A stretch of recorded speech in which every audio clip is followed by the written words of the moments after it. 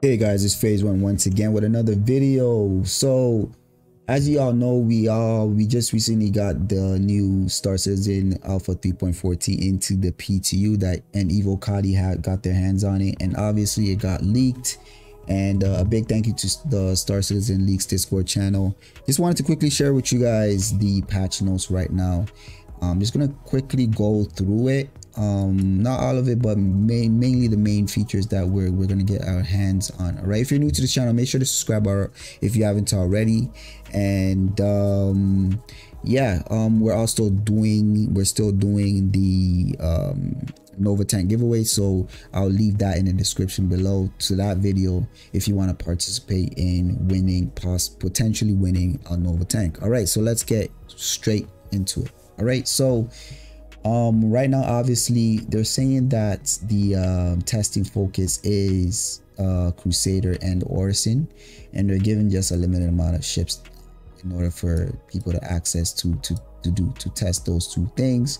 Right now there are some features right now that um, are in right now but are not in full state. But right now they just want to test these two things the landing zone and crusader itself which makes sense. Um, there is a lot of known issues. I'm not going to go through the known issues um, but right now I just want to kind of go through the features so they're saying Crusader and the new city Orison landing zone comprised of a last um, a lattice work of platforms suspended in mid atmosphere on a gas uh, gas giant Crusader. Orison is considered as the most uh, picturesque uh, location in Stanton.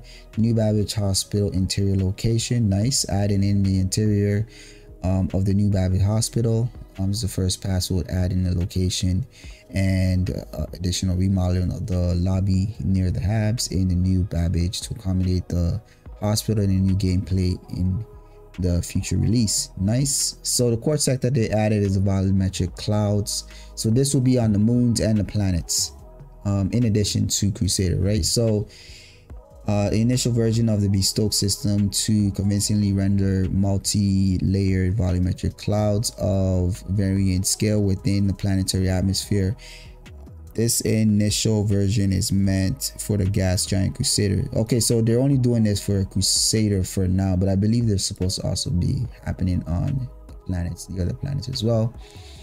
So they're adding some graphic setting. They're adding they're adding some graphic settings that we can also tweak. So we're adding um, a few new graphic settings that you will help give more control over your experience in the PU. Add volumetric cloud graphics options. We've added low, medium, original defaults, and high render distance for ground cutters. Uh, for ground cutter, this uh, setting allows you to pick the distance from the camera at which scattering objects spawn and we'll also add a terrain tessellation distance for low, medium, and high. So I guess medium would be the default for both. All right. So after that, that is all. Right now, it seems it's pretty light in terms of content, but um, I'm sure they'll be adding more as they produce more releases for 314 all right so if there's anything in this video that you like make sure to leave a like as well if you haven't already make sure you subscribe all right i will see you on the next one